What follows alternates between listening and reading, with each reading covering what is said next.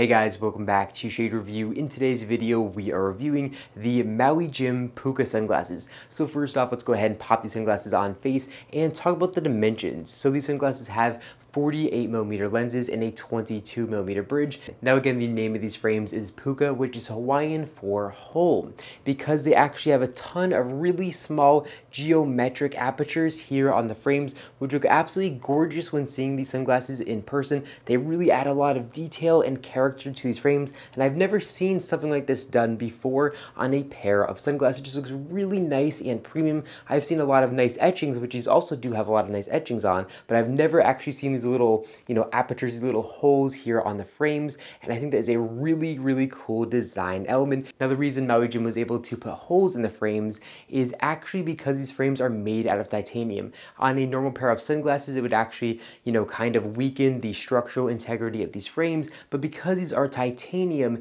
the metal is very strong and they're able to get away with this without having any issues to the structural, again, integrity of these frames, which is really cool and it's really fun to see what Maui Jim's doing with their titanium titanium frames. Now, because they are titanium, which is a metal material, these are extremely lightweight. They basically weigh almost nothing. They are basically weightless again, and because of that, you can wear these sunglasses for all day without any discomfort. These sunglasses are probably a third of the weight as a normal pair of Ray-Ban round sunglasses, which is very impressive. The frame core here is Maui Jim's matte silver, which looks really nice here on the titanium metal, and then the lenses here are Maui Jim's neutral gray lenses, which have this really nice mirroring material to them. And they also have this little dark layer here in the middle. That way the sunglasses actually squint for you rather than you having to squint, which really helps reduce eye strain. Maui Jim's lenses are definitely some of the best in the business. And the lens material on these sunglasses are Maui Jim's Maui Brilliant lenses,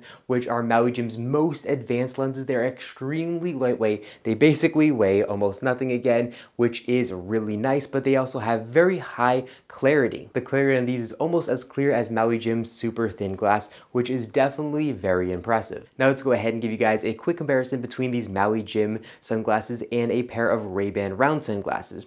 So this is the smallest size that Ray-Ban makes of the Ray-Ban round, and these have 47 millimeter lenses. And here we can see how these look on face. Again, these have more round off lenses, where these have more hexagonal lenses, I believe. Another feature that's really cool about these frames is here on the temples, they are actually flat. I know it's gonna be very hard to kind of show you guys this on camera, but these are actually flat temples here. So they aren't round like a normal pair of sunglasses, they are flat. And again, they do have these small little apertures here or openings here, which really add to the look of the frames and really make them stand out. Now, as far as build quality goes, these are built very, very solidly considering that they are very lightweight. They are really nice and they feel very premium as well. They definitely don't feel like they're going to break very easily. These sunglasses do have fully adjustable nose rests and through the nose rest they actually have a little uh, Maui Jim bird logo for authentication purposes.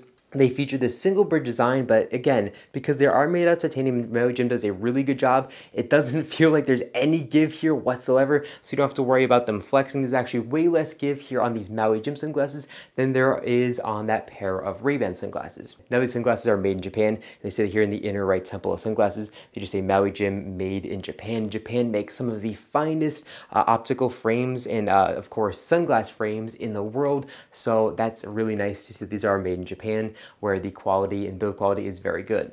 Now these sunglasses are definitely designed for people who have smaller heads, but honestly I have a medium-sized head. I actually think these sunglasses look really, really good on my face. Even though they do have that very small look to them, I still think I can pull these off. And, and because of that, I think a lot of you guys are actually going to be able to pull off these sunglasses as well. So I definitely would recommend checking these out. Now the only downside of these frames is the price tag. These come in at $400, which is a lot of money for a pair of sunglasses. Even a pair of Maui Jim sunglasses, $400 is a lot of money. It's definitely on the high end of their scale. But again, these are made out of titanium and the build quality and craftsmanship on these is definitely amazing. They are made out of titanium. And again, all these little apertures here, holes on the frames and the way that they did these flat temples, that is very, very hard to manufacture. So these definitely cost a lot more to produce than the standard Maui Jim Mavericks, you know, their aviator style pair of sunglasses, which are also made out of titanium but only cost $300. But as far as pricing goes, we usually can pick these up a little bit cheaper on Amazon, so I will leave a link in the description down below where you guys can pick up these sunglasses directly from Amazon, and they should be around $350. So you're not going to save too much money there, but I would recommend doing that because that brings these price tag of these just a little bit lower and a little bit more reasonable. But basically, I have absolutely no complaints with these sunglasses other than the price. Now, as far as coverage from Sun goes, these actually offer very good coverage considering the fact that they are a round or hexagonal pair of sunglasses. So here up top, we can see there is a pretty big gap to the sunlight in unprotected. In here on the sides, again, there is a pretty big gap to the sunlight in protected. But this style of sunglasses is never going to offer very good coverage. So considering the fact that they are this style, I think they have very good coverage compared to the competition. Well, that's all I got for guys in this video. If you enjoyed it, make sure to give me a big thumbs up down below. And of course, make sure to subscribe button and then you'll be notified every single time I put a brand new video just like this one to my YouTube channel. Again, thank you all so much for watching and I'll catch you all in the next one.